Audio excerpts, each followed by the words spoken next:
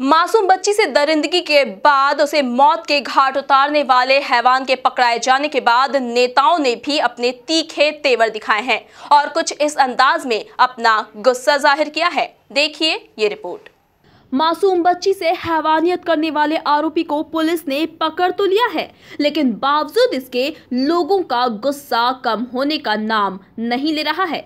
BJP अनुसूचित जाति मोर्चा के नगर अध्यक्ष राजेश शिरोडकर ने आरोपी का सिर काटकर लाने वाले को इनाम देने का ऐलान कर दिया है। बच्चों के साथ जिस तरह से शहर में दुर्घटनाएँ, घटनाएँ हो रही है, ऐसे दुर्दांत अपराधियों को और ऐसे खतरनाक लोगों को तो है ना सर कुचल के मार डालना चाहिए।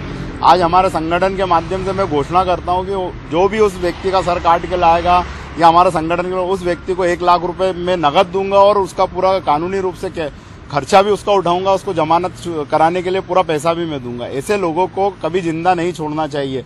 जब सरकार को प्रशासन को जब पता था कि इस तरह से वो मंदसौर में घटना कर कर आया तो ऐसे आरोपी को जमानत ही नहीं देना चाहिए।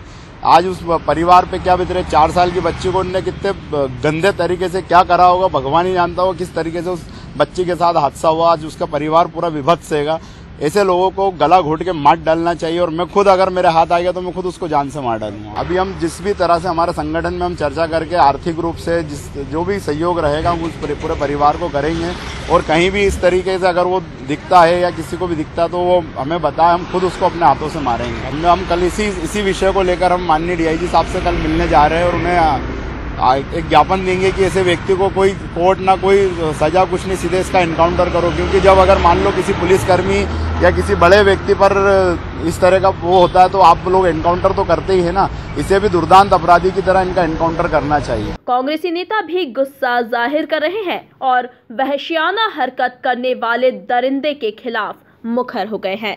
अब ये तो उनसे पूछना चाहिए कि उन्होंने किस टाइप से बयान दिया। इसमें मैं तो कोई टीका टिप्पणी नहीं करना चाहता हूँ। पर यदि उन्होंने किया है तो उनसे पूछना चाहिए कि ऐसा सब जगह कर दें तो शायद वो रुके क्योंकि उनकी भाजपा सरकार है। और कानून व्यवस्था मतलब लाचार है वो खुद स्वीकार कर रहे हैं पैसे का लालच देके और वो ऐसा कर रहे हैं तो ये खुद उनसे पूछना चाहिए। सदाशिव यादव।